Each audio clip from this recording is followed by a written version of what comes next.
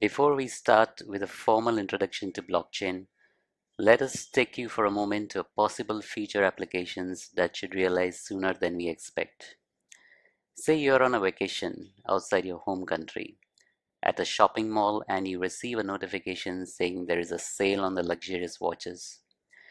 You have not been to that mall before and going there for the first time. You pick up a watch and you wonder if the watch is genuine and worth the price. You start a mobile application and place it on the watch.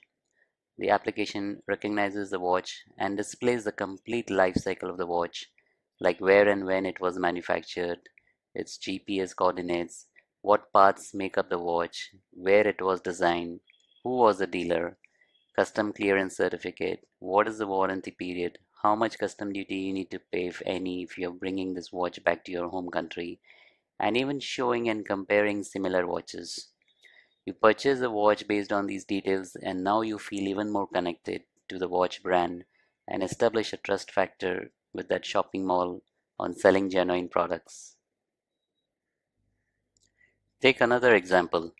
You need to transfer money overseas you open a mobile application, provide the beneficiary mobile number, and money is transferred instantly.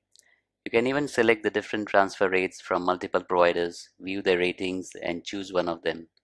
You now have full control on how you can move your money across the globe without any central authority. Another example could be say you're heading back to the airport and receive a message on your messenger the message gets blocked instantly. The messenger classifies this as the fake news. You're saved from distraction and you could later check why the message was blocked. So far we talked about consumer applications. Let's take an example of a complex B2B process like an international trade finance which currently takes days to complete the trade process.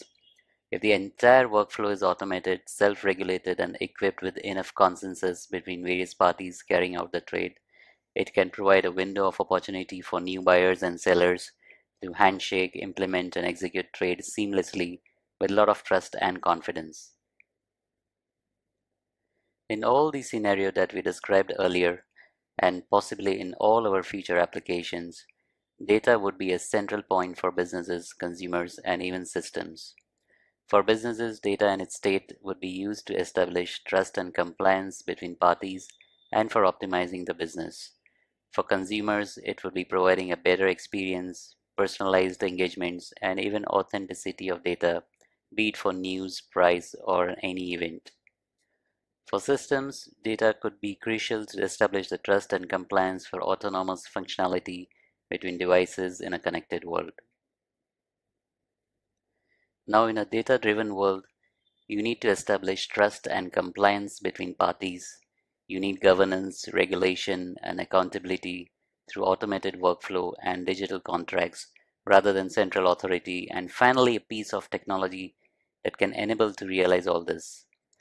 Once these basic parameters are enabled, it opens endless opportunities to move any value from services to digital assets across the network in a secure and transparent way.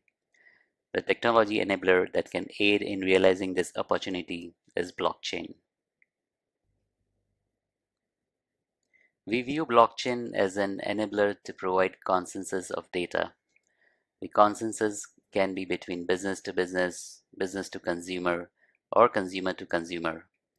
We call blockchain an enabler as blockchain alone will not lead to realizing the opportunities we talked about earlier.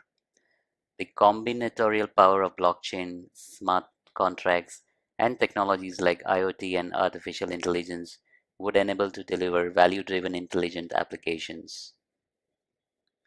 While we described our vision, we are probably at the first generation of blockchain implementation where technologies are still evolving and use cases are being realized. So what you will learn in this course? We will depict the vendor-neutral architecture that will enable us to develop blockchain-based applications. We will then look at two major implementations, Ethereum and IBM Hyperledger Fabric. With Ethereum, we'll show you how to build a crowdfunding application using digital fuel called Ethers We will also look at topics like extension to Ethereum blockchain, integration, and future of smart contracts. With IBM Hyperledger Fabric, we will talk about its architecture and enterprise capabilities. And we'll also show you how to build a sample trade finance application using the Fabric platform.